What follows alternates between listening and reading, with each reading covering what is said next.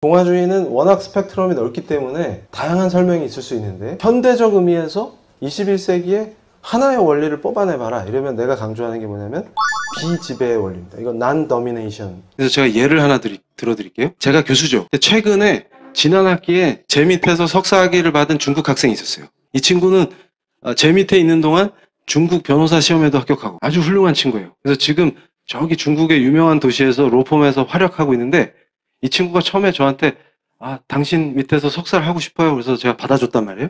어, 넌 훌륭하다. 학부 때 제 수업을 들었어요. 교환 학생으로 와가지고 너 정도면 되겠다. 그래가지고 받아줬어요. 근데 얘가 열심히 공부를 하는데 여러분 잘 생각해 보세요. 파워하고 권력이죠.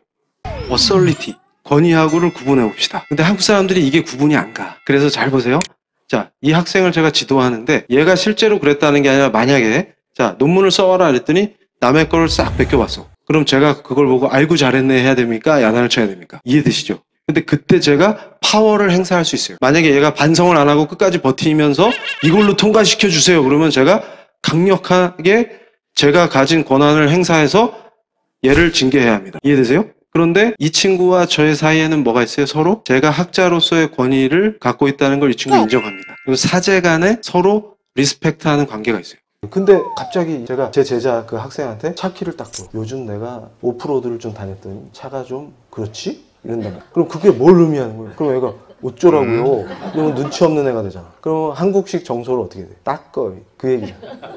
또 사- 세차하고 안 돼. 근데 이거는 얘가 하면 돼야 안 돼? 안 되지. 부당하잖아. 그러니까 무슨 얘기냐면 권력을 행사할 땐 항상 뭐에 기초해야 돼? 법에 근거해. 그러니까 법이 부여한 권력, 권한을 행사하는 건 문제가 없습니다. 얘가 표절을 해오거나 학칙을 어기거나 이럴 땐 그걸 근거로 반드시 야단을 쳐야 됩니다. 도를 넘어설 땐 반드시 징계해야 되고 그래야 지도가 돼요. 이게 구분이 안 돼요. 지도 교수고 학자로서 저를 존중하고 그 권위를 인정할 때 지도가 됩니다. 그렇지만 저를 존경한다는 거랑 내 차를 세차해야 되는 거랑 우리 집에 와서 청소 좀 하지 이런 건 있을 수가 없죠.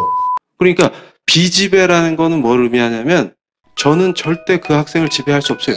그 학생의 인격을 지배할 수 없어요. 우리 군대 갔다 온 형아들 내무반 생활이 힘들었던 게 훈련이 빡세서 힘들었습니까? 아니면 상병이 나의 전 인격을 지배하려고 해서 힘들었습니까? 그거 생각하시면 돼요. 이게 비지배의 원리예요. 공화제 안에서는 누구도 지배되지 않습니다. 난 도미네이션. 끝내줘. 그런데 각자가 주체야 또. 요게 실현되려면 어떻게 된다고요? 저는 파워를 어떻게 행사합니까? 반드시 법이 저한테 부여한 것만 쓰는 거예요.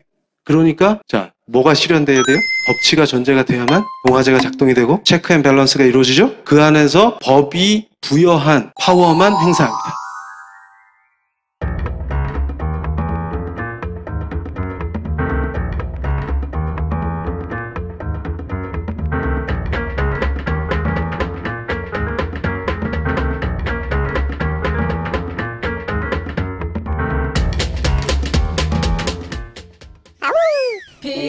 PLI 좋아. 최고로 좋아.